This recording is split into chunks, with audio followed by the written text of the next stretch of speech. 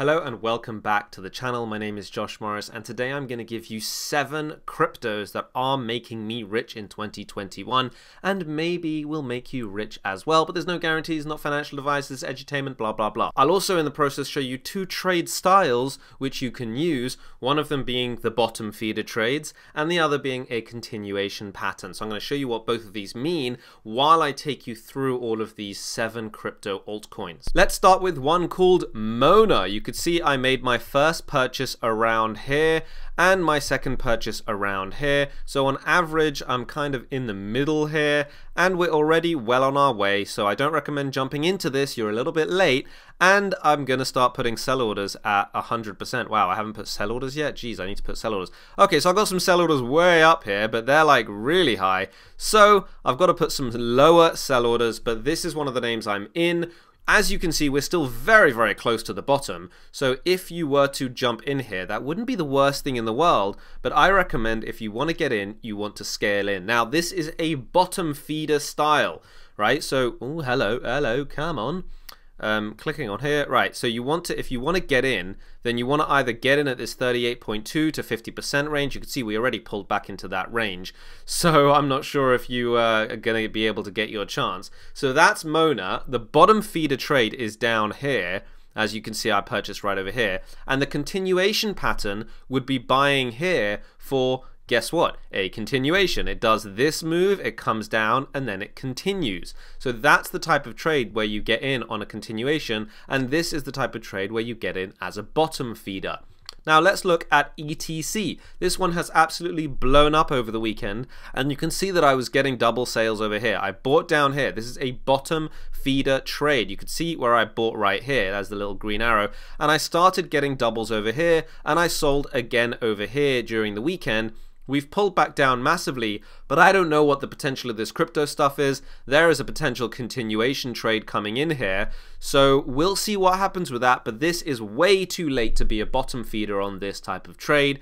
So I'm just here telling you how I'm making your my, my money. You don't care, do you? You just want to see the next potential crypto that you can buy. Well, let's look at the next one that you could buy, NLG. Can you buy it right now? Maybe, let's find out. This is an absolute bottom feeder of a trade. Look where I bought this. By the way, if you if you ever heard me talk about weekly W's, sorry, if you ever talk about hear me talk about W's in general, this is an example of a W. Look at that W right there. Right, I'll zoom in so you can actually see. W over here, very clean W. This low is higher than this low, and it broke out of the middle here, and that's exactly where I bought, right on that center point. And over the weekend, it went up and it doubled in just like a few days. Like this is a four-hour chart. If I put it put this on the daily, you can see that it took one, two days for my money to double. So I sold a little bit here and it's pulled all the way back. Now, there is a potential for both a bottom feeder and a continuation pattern trade here. So if I draw a reload zone from the bottom to the top, you can see how we came smacking into this reload zone right here. 61.8 to 78.6. That's a bottom feeder type of trade. If it only came to the 38.2, then this is a continuation type trade where you wait for the W. Here, it's come smacking into here, so I could have bought back again like what I sold here, but it happened too fast and I can't keep track of it. I'm too busy, so I'm sorry, crypto world. Moving on to BCH, I have just sold at a double here. I did let you guys know about this trade that happened. I've got all of these, uh, I'll tell you about these levels in a minute. But I did tell you about this trade when I took it, so you could have got in there with me. You had all this time. You had 1, 2, 3, 4, 5, 6, 7, 8, 9, 10, 11, 12, like 20 days to get in on this with me at my level. So I can't you can't really blame anyone if you missed it, but here we are. You've missed it. So I got in over here. And this is my sell half on a double level right here. You can see around 124%. I sold here on the weekend and it dumped immediately afterwards, heading right into this uh, Pump Chaser Zone as Colin from Hyrox, Hyrox Labs, Hexro, HXRO. He's got a YouTube channel. I'll maybe link it below. But either way, they're all over here at TRI, The Rational Investor. So feel free to go check them out. Wyckoff is down here at this level. So that's Colin, by the way. You, will meet him on his YouTube channel. He's a good guy. Wyckoff is down here at this level right here. So Wyckoff is not around. He's not part of TRI, but he is a famous trader um, investor. And, you know, the Wyckoff method, I won't go into this in this tutorial, but he, it's pulled down here and it's checked this level right here. So that's a Wyckoff check. Well, it hasn't yet, but that's where Wyckoff is hanging out. Mountain Man is down here at 61.8. That is a term by Brian Beamish, also at The Rational Investor. Then you've got this W over here. So that's the breakout W level. So it's a famous, uh, famous way to trade is to take the W level. I talk about Ws all the time. You saw it in a previous example. And another guy over at TRI, Kvark, um, he's sitting down here at 88.6, which is another fib. So these are the levels where you could potentially get in, depending on where it Ws, if you wanted to get into this BCH trade. But right now, it's a little bit overrun. So we're going to move on to the next one, CVC. As you can see, I bought down here way back in 2019, and I've started taking double profits here now. Here's one profit, here's another profit objective. So this is a more of a continuation trade if you wanted to get in on this right now. Down from the bottom up to the top, I'm drawing this very, very loosely. It's already come into this 38.2 level, as you can see, so that is a potential a potential buy right here, and you can see you're already doing well on that buy right there. Excuse me. and you want to be waiting for a W really for that continuation pattern to go back up. If you really want to be patient, then you might want to wait for reload zones, but who knows if that's ever going to happen in this type of market. In a market like Waves, it did happen. You could see I bought down here.